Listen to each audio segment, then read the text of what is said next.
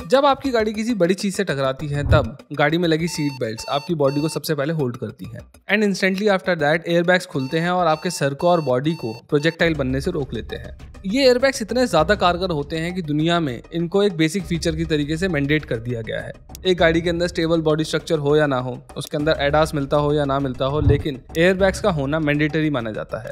लेकिन अगर मैं ये कहूँ कि जो एयरबैग्स आपकी जान बचाने के लिए जिम्मेदार हैं, वही आपकी मौत का कारण बन सकते हैं तो मैं यहाँ पर टकाटा इंडस्ट्रीज़ की बात कर रहा हूँ, जो एक वक्त पर दुनिया की सबसे बड़ी एयरबैग मैन्युफैक्चरर्स में गिनी जाती थी।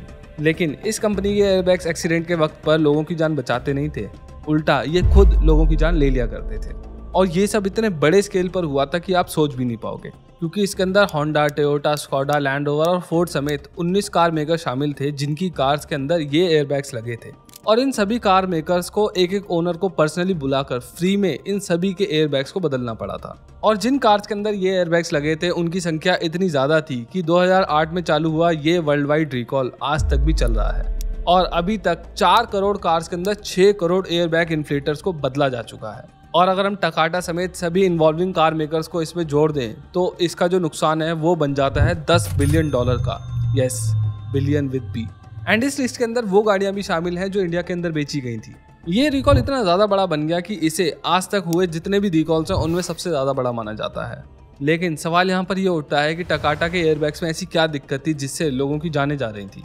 और दूसरा सवाल ये भी बनता है कि जापान की इस विशाल काय कंपनी ने ऐसा किया ही क्यों? वेल well, इस वीडियो के अंदर हम इन सभी बातों को समझेंगे लेकिन उससे पहले हमें ऑटो इंडस्ट्रीज़ के थोड़े से बेसिक्स को समझ लेना चाहिए वरना आगे की बातें समझ नहीं आएँगी।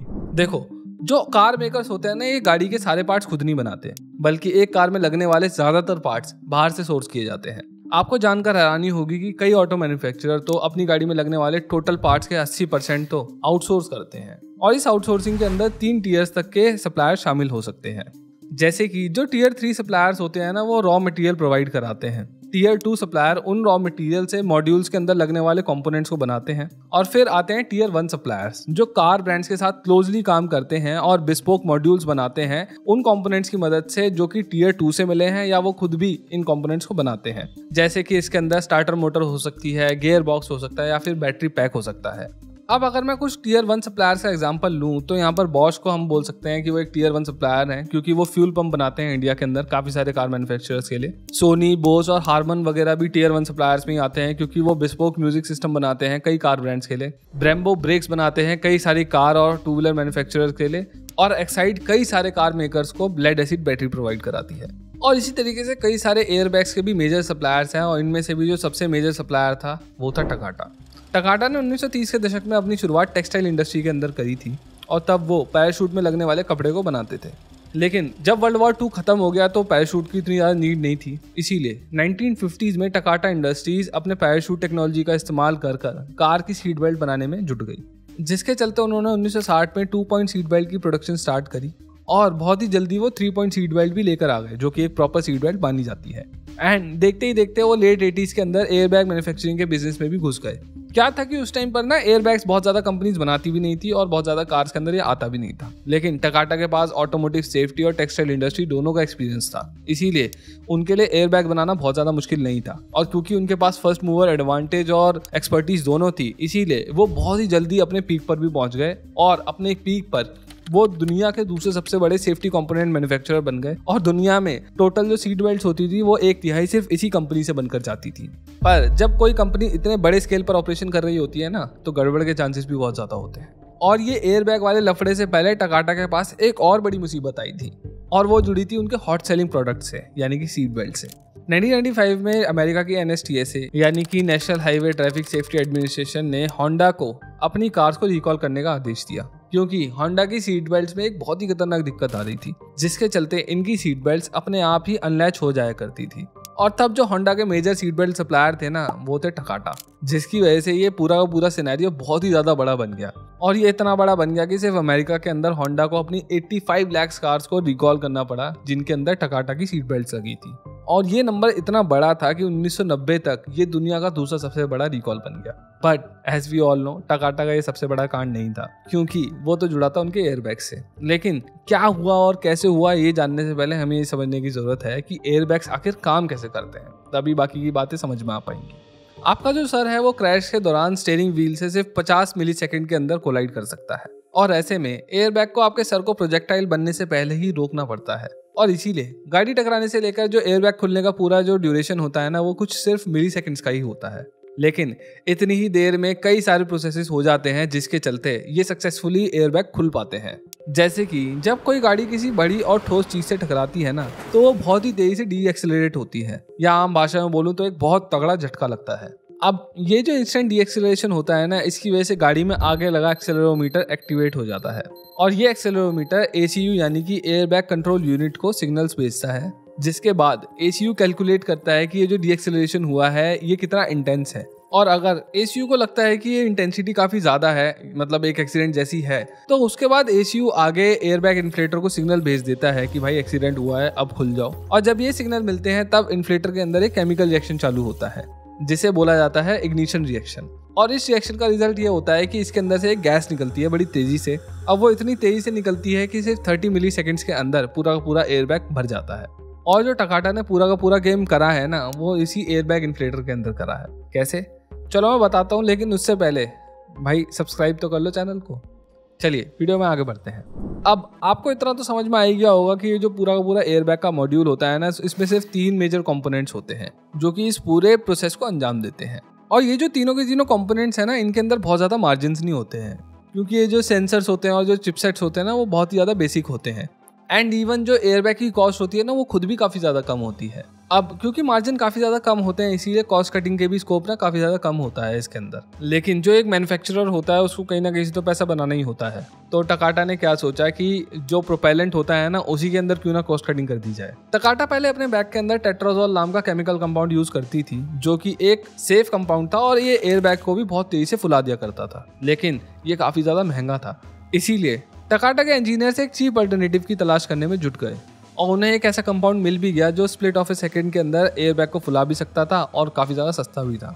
और वो था अमोनियम नाइट्रेट जी हाँ आपने बिल्कुल सही सुना। ये वही कंपाउंड है जो बहुत ही ज़्यादा एक्सप्लोसिव होता है और जो बिल्डिंग्स को कुछ सेकेंड्स के अंदर उड़ा के रख सकता है। अब ये जो कंपाउंड था, ये एयरबैग्स को तो फुला सकता था, लेकिन इसे गाड़ी के अंदर इस्तेमाल करना काफ़ी ज़्यादा खतरनाक था। क्योंकि इसमें ज़्यादा गर्मी और ज़्यादा सर्दी में अपने आप ही केमिकल रिएक्शन होने के खतरे रहते हैं। और ये वो सारी कंडीशन है जिनमें अक्सर एक कार ऑपरेट करती है। बर्फ़ में भी चलती है और रेगिस्तान में भी। इसके अलावा ये जो अमोनियम नाइट्रेट है ना, ये मॉइस्चर को भी सोक करता है। और इसीलिए इसके साथ एक ड्राइंग एजेंट डालने की ज़रूरत होती है। लेकिन टकाटा ने ना तो ड्राइंग एजेंट डाला और साथ ही साथ बाकी जितने भी रेड फ्लैग्स थे ना इससे जुड़े हुए, उन सभी को इग्नोर कर दिया। वो भी सब कुछ जानते हुए। और 2001 के अंदर उन्होंने अपने इस नए कंपाउंड पर बेस्ड एयर बैग्स को मार्केट के अंदर सप्लाई भी करना चालू कर दिया। और बहुत ही जल्दी इन एयर बैग्स ने कोहरा मचाना चालू कर दिया। धीरे धीरे कई जगहों से इन एयर बैग्स की वजह से चोट लगने और मौत होने की खबरें आने लगी। U.S. safety regulators say millions of additional cars on the road right now could have potentially deadly airbags. One person has already died from the fault. Authorities so concerned they're urging affected owners not to drive their cars. Tonight, Channel 2 Investigates is digging deeper into another death connected to the Takata airbag recall. और खासकर Honda की car से तो कुछ ज्यादा ही इस तरीके के एक्सीडेंट्स की रिपोर्ट्स आई टकाटा के एयरबैग्स के साथ क्या होता था कि कई बार जब गाड़ी का एक्सीडेंट होता था, तब ये एयरबैग खुलते नहीं थे, बल्कि अमोनियम नाइट्रेट की वजह से धमाके के साथ फटते थे। और सिर्फ़ फटते ही नहीं थे। इनके अंदर से मेटल के पार्ट भी निकलते थे एयरबैग को रप्चर करते हुए, जो कि सामने बैठे पैसेंजर और ड्राइवर के बॉडी के अंदर घुस जाते थे, जिसकी वजह से उनकी डेथ हो जाती थी, या फिर उनको काफ़ी ज़्यादा सीरियस इंजरीज होती थी। और ये मेटल पार्ट्स कुछ इस तरीके से निकलते थे, जैसा आप इस वीडियो के अंदर देख पा रहे होगे। यानी कि कार एक्सीडेंट के अंदर जो चीज़ लोगों को बचाने के लिए बनाई गई थी, वही उनकी जान लेने लगी। और सिर्फ़ यही नहीं, जैसे जैसे टकाटा एयरबैग्स के साथ आने वाली कार्स पुरानी हो रही थी ना, वैसे ही ये भी देखने को मिल रहा था कि इनके अंदर एयरबैग्स अपने आप ही फट जाते थे मतलब बिना किसी एक्सीडेंट के ही। और ऐसा इसलिए हो रहा था क्योंकि अमोनियम नाइट्रेट मॉइस्चर सोक करता है, जैसे मैंने आपको पहले बताया था। तो मॉइस्चर सोक करा, वो अपने आप एक्टिव हो गया। अब इन बढ़ते हादसों को देखकर एनएसटीएसए ने इन्वेस्टिगेशन चालू करी। और इस इन्वेस्टिगेशन का परिणाम ये हुआ कि सभी कार मेकर्स जो कि टकाटा के एयरबैग्स यूज़ कर रहे थे, उन्हें रिकॉल करने का आदेश दिया गया और कार ओनर्स को फ्री में एयरबैग्स बदल के देने के आदेश दिए गए। और इस पूरे रिकॉल की शुरुआत हुई 2008 में होंडा की कार्स के साथ, जिसके अंदर सिर्फ़ होंडा और उसकी साथी कंपनी की 22 मिलियन कार्स के रिकॉल करे गए। लेकिन ये रिकॉल सिर्फ़ होंडा तक ही सीमित नहीं थे। इसके अंदर बी एमडब्ल्यू शेवी फोर्ड और टोयोटा जैसे 19 बड़े कार ब्रांड शामिल थे, जिन्होंने अपनी गाड़ियों को रिकॉल करा और फ्री में दूसरे एयरबैग्स लगा कर दिए अपने कस्टमर्स को। और इस पूरे के पूरे वर्ल्ड वाइड इंटरनेशनल रिकॉल के अंदर आज तक चार करोड़ कार्स के अंदर छह करोड़ एयरबैग्स बदले जा चुके हैं। सोचिए, मैं यहाँ पर करोड़ों की संख्या में बात कर रहा हूँ, इतनी संख्या जितनी कई देशों की आबादी भी नहीं होती है। इन रिकॉल्स की वजह से टकाटा का इतना पैसा लगा कि 2018 में उसको बैंक फ़ाइल करनी पड़ गई और कंपनी हमेशा के लिए बंद हो गई। लेकिन अगर आप ये सोच रहे हैं कि प्रॉब्लम अब सॉल्व हो चुकी है तो ऐसा नहीं है, क्योंकि आज तक भी ये रिकॉल्स चल रहे हैं। और सिर्फ़ बाहर के ही देशों में नहीं, बल्कि इंडिया में भी कई ऐसे ब्रांड्स हैं जिन्होंने टकाटा एयरबैग्स की वजह से रिकॉल करे थे। जैसे कि इंडिया के अंदर स्कॉडा ने अपने कस्टमर्स को बोला था कि वो सर्विस सेंटर आएँ और अपने एयरबैग्स बदलवाएँ। इसके अलावा होंडा ने भी रिकॉल्स करे थे अपनी पाँच हज़ार आठ गाड़ियों के, जिसमें कि होंडा जैस सिटी सीआरवी और अकॉर्ड जैसी कार शामिल थी। और शेवी ने तो 12000 शेवी क्रूज के रिकॉल्स करे थे टकाटा एयरबैग्स की वजह से। और अगर इस वीडियो को देखने के बाद आपके मन में भी शक आ रहा है कि कहीं आपकी गाड़ी में टकाटा का एयरबैग तो नहीं लगा मतलब वो वाला एयरबैग जिसने दिक्कत दी थी तो आप क्या कर सकते हैं कि आप अमेरिका की एन वाली वेबसाइट पर जाकर अपनी गाड़ी का मेक एंड मॉडल देख सकते हैं। अगर आपकी गाड़ी कहीं से इम्पोर्ट हुई है, या फिर वो कार मेकर ही इंडिया के अंदर ये वाले एयरबैग लगा रहा था तो वो आपको पता लग जाएगा वहाँ से। काफ़ी हद तक पता लग जाएगा मतलब। सो इस वीडियो में बस इतना ही। अगर आपको मेरी वीडियो पसंद आई हो तो please consider subscribing to our channel video को लाइक करिए शेयर करिए। और हाँ यार, वो बेल आइकन जो होता है ना, घंटी, उसको ज़रूर दबा दो, वरना आपको पता नहीं लगेगा कि मैं वीडियोस कब डाल रहा हूँ। और हाँ जाने से पहले वो कमेंट सेक्शन के अंदर टकाटा के एयरबैग्स के बारे में ज़रूर बात करके जाना, क्योंकि जब हम बात करेंगे तो हमारी जो रीच है वो बढ़ेगी और लोगों को भी इंटरेस्ट आएगा ऐसी वीडियोस देखने में और ज़्यादा।